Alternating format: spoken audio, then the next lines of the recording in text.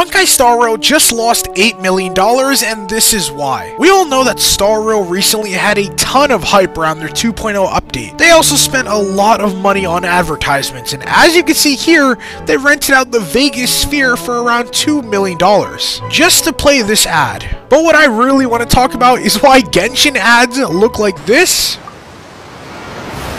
Now, embrace the impact. What impact? Genshin Impact. and Star Rail ads look like this. You know what the worst part is? Is that they give you a Stellar Jade code all the way at the end of this ad. I hate to say it, but Genshin could never.